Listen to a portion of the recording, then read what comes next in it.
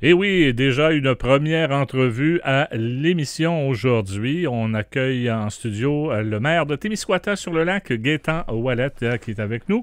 Monsieur Wallet, bonjour. Bonjour Guylain, comment allez-vous? Ça doit bien aller, vous, en tout cas avec une belle, belle nouvelle hier, une belle annonce euh, de la ministre responsable au niveau de la région, notamment Marie-Ève Proux. C'était le souper de la, organisé par la Chambre de commerce du Oui, la Chambre de hein? commerce accueillait Marie-Ève Proux, puis c'est pour ça que c'était bien fait de passage chez nous et on la remercie de, venir nous rencontrer directement au Témiscouata. Puis ils en ont profité justement, oui, pour faire l'annonce concernant notre modèle industriel Innovacentre. Donc une subvention de 2 millions, au gros, en gros, sur un projet total de 3,6 millions. OK, ça c'est le Hôtel industriel dans le quartier euh, Cabano.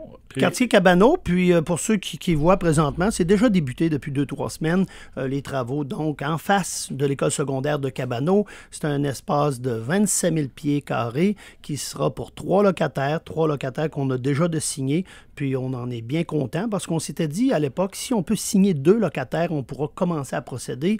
Et là, on en a un troisième aussi qui s'est additionné. Donc, c'est à coût nul pour la population l'expansion que ces entreprises-là ont besoin pour se développer va amener une nouvelle taxation euh, pour notre milieu. Puis euh, tant mieux, on en est bien content. Alors, vous, vous deviez savoir à l'avance que vous auriez euh, un montant d'autour de 2 millions. Là. Sans ça, on ne se lance pas dans un projet de même si on n'est pas certain. Ah non, tout à fait. C'est sûr que c'est une annonce qu'on connaissait, les montants, et ça a été confirmé par la venue de la ministre. Et c'est quoi les, trois entreprises? Vous dites, vous avez vos trois entreprises dans ce... Oui, les trois entreprises, euh, maintenant, on peut les nommer. Puis on les avait déjà nommées, sauf peut-être la troisième qu'on a signée que dans les dernières semaines. On a FlexLight, on a l'entreprise Optimac aussi, et on a Transport euh, Gilles Bossé, dont le propriétaire est Pascal Bossé. Puis euh, trois entreprises qui avaient besoin d'expansion euh, d'endroits, puis c'est pour ça qu'on va pouvoir les accueillir. nous, la bâtisse, normalement, devrait être livrée dans les alentours de la mi-décembre. Ah, aussi vite que ça, donc, ça donc ça sera, comme vous dites, coup nul pour les citoyens. Tout à fait. Puis même, euh, comme je mentionne, étant donné que ces entreprises-là vont prendre de l'expansion, euh, créer de l'emploi potentiellement et se développer, ben, pour nous, ça amènera une taxation supplémentaire. Mais outre le 2 millions, on dit que c'est un projet de 3,6. C'est les autres. Euh, On le reste, c'est nous qui va devoir le financer, c'est sûr, au niveau de la ville. Fait que ça fait une contribution gouvernementale d'environ 55% Mais à coup nul, vous dites c'est parce que vous allez avoir des revenus. À coup nul, c'est parce que les revenus font les paiements de nos dettes. En effet. Puis ça, ça peut mêler les gens aussi. Il y a un autre projet du côté du quartier Notre-Dame-du-Lac. Comme ça, c'est un projet privé. Oui. Du côté de Notre-Dame-du-Lac, ça, c'est Investissement ML. Michael Land, investisseur euh, en immobilier. Puis, euh, lui, puis un peu comme je te mentionnais, ça sera intéressant de peut-être l'inviter parce que euh, c'est un promoteur qui est dynamique. Puis, on est bien content, comme on a toujours dit, que sur la plaque de, du Breton, hein, la plaque de ciment, on puisse faire quelque chose. Et cet investisseur-là, qui était déjà propriétaire des lieux, euh, fait un bâtiment qui va pouvoir accueillir lui aussi euh, des entreprises. Fait qu'on en est bien content que nos deux quartiers euh, puissent se développer. Puis c'est pour ça que je t'invite fortement peut-être à avoir un petit 10 minutes de discussion avec lui parce qu'il pourra te parler de l'ensemble de ses projets. Mais on en est bien content qu'à Notre-Dame-du-Lac, on puisse aussi avoir des lieux pour accueillir des entreprises. C'est ça. On développe euh, dans, le sens, un sens les deux quartiers là, avec des, projets intéressants. Oui, c'est ça. Là, les deux quartiers euh, euh, sont dynamiques, peuvent accueillir des entreprises. Puis c'est à nous, avec exemple la Corporation de développement, de travailler dans ce sens-là, amener de nouvelles entreprises ou accompagner les entreprises existantes qui veulent se développer. Puis plus vite il y aura de la croissance, mieux on s'en portera tout le monde. Sans compter qu'il y a des G2 qui vont s'en venir chez vous. Déjà deux, ouais, une petite discussion qui a quand même euh, fait euh, jaser entre municipalités. Nous, il faut comprendre dans ce dossier-là que euh, si l'entreprise souhaite prendre l'expansion, nous avait approché pour est-ce que vous avez des terrains? Si oui, puis on leur a fait une offre sur le terrain pour situer les gens en face de Groupe Lebel à Notre-Dame-du-Lac, en haut de, de Guiriou, si on peut dire, sur la côte. Puis on a fait une offre, puis les gens peuvent aller voir nos procès-verbaux depuis le 3 juin, 150 000 pieds carrés, 30 000 une offre qui est là. Il n'y a rien de signé chez le notaire. Euh, donc, on ne veut pas de chicane entre les euh, municipalités. Nous, on veut que ça aille bien. Puis, à la fin de la journée, comme je dis souvent, c'est le promoteur qui prend une décision. Donc, s'il prend la décision de venir à Témiscouata sur le lac, euh, on signera chez notaire, puis ça fera les choses si la décision lui appartient au final. Et si la municipalité de Saint-Louis-du-Har trouve un terrain d'entente pour l'accommoder, accompagner dans sa croissance, on sera content aussi euh, parce que c'est une entreprise qui se développera sur le Témiscouata. OK. Donc, êtes une décision d'affaires. Puis nous, ben, si on a des possibilités d'ouverture des, euh, des, secteurs où des terrains, on peut, on peut les offrir. Mais ça, c'est ça revient toujours au privé de décider. Euh, ben, c'est parce qu'on on sait pour une entreprise, il y a un coût de se relocaliser. Fait que s'il prend la décision de se relocaliser, euh, il en assume qu'est-ce qui vient avec. Ça fait que c'est vraiment le promoteur. C'est pas les conseillers, c'est pas le maire euh, qui prend une décision pour le promoteur. Le promoteur euh, compare, il regarde qu'est-ce qui est offert, puis après ça, il prend une décision et on n'a pas le choix de l'accepter. C'est lui qui signe dans le bas de la feuille, puis souvent c'est lui qui met sa maison en garantie, puis qui assume les risques. Là. Et quelles sont vos relations maintenant avec la mairesse de Saint-Louis du AA? Parce qu'il y a eu cette petite discussion autour de la Sûreté du Québec il y a quelques temps aussi. Là. Oui, ben moi je pense dans l'ensemble, euh, ça, va, ça va revenir à la normale dans un futur. Présentement, euh, euh, ça va comme ci, comme ça, mais le, futur va nous dire aussi que ça va nous mener. Mais moi, écoute, ça fait dix ans, autant j'ai travaillé pour Desjardins au niveau de tout le Témiscouata. J'ai été dans les SADC 50 ans pour tout le Témiscouata. J'ai toujours souhaité que le territoire se développe au complet et pas juste euh, Cabano ou Notre-Dame-du-Lac. Fait que moi, je vais toujours travailler dans ce sens-là que si les entreprises euh, souhaitent être à Témiscouata sur le lac, tant mieux, mais si euh, sont dans les municipalités voisines, on y trouvera notre compte, nous aussi, comme Témiscouatins. D'accord. Maintenant, il y, a eu un sujet de discussion, en fait, depuis samedi dernier, lorsque ça a apparu dans le journal, je pense, le Journal de Québec, le Journal de Montréal. Il y avait les fameux salaires des maires puis des préfets. Êtes-vous en haut de liste, vous, monsieur? Euh, non, je ne suis pas en haut de liste. Je ne suis que dans la moyenne, à peu près. C'est quoi le salaire du maire de Témiscouata sur le lac? Euh, Témiscouata sur le lac, euh, de mémoire, je te dirais, euh, avec les allocations, je pense que ça revient à 35 dans ces eaux-là. pas. tu me poses une question qui m'embête. Seriez dû pour une augmentation si on fait certaines comparaisons, non? Euh, ben moi, je te dirais sincèrement, j'ai rarement travaillé pour le salaire.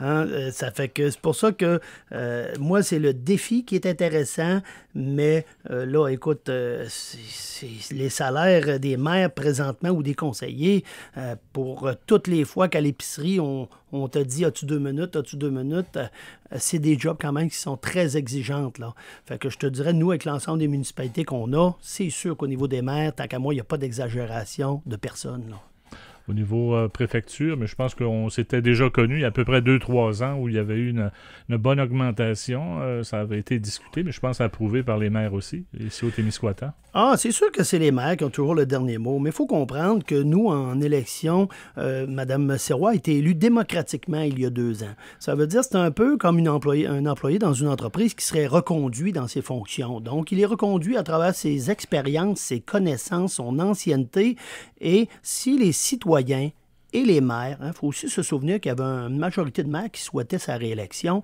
Bien, quand on prend tout ça, ça veut dire qu'implicitement, un peu comme dans une entreprise, on reconduit des conditions.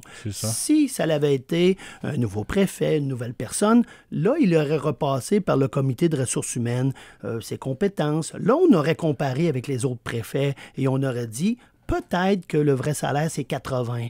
Mais là, on considère qu'on a un employé qui est compétent, que l'ancienneté, que les connaissances, à nous comme maire d'être exigeants en conséquence. C'est ça. Puis, euh, c'est pour ça que moi, je considère que euh, c'est au même titre, si on veut motiver un employé, jour 1, c'est pas baisser de 25 000 son salaire, mais euh, c'est d'être exigeant dans les attentes. Puis, c'est ça qui se livre bien présentement.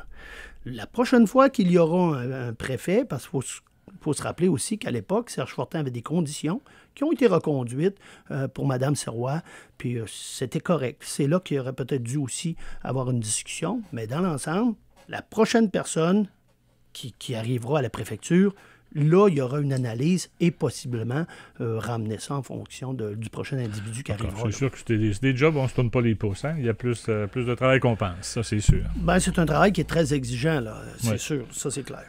Et à vous, à Témiscouata sur le lac, je voulais revenir voir vos impressions là-dessus parce qu'il y a eu un beau succès avec le défi Everest hein, de la première édition. Ça m'était, euh, je parlais avec Mayanne Cyr à Paradis en début de semaine, 365, c'est beaucoup plus que prévu.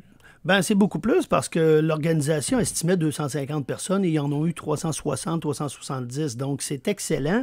Puis, je trouve que ça met bien la table parce que nous, on a même déjà annoncé la ville qu'on voulait reconduire l'an prochain l'événement.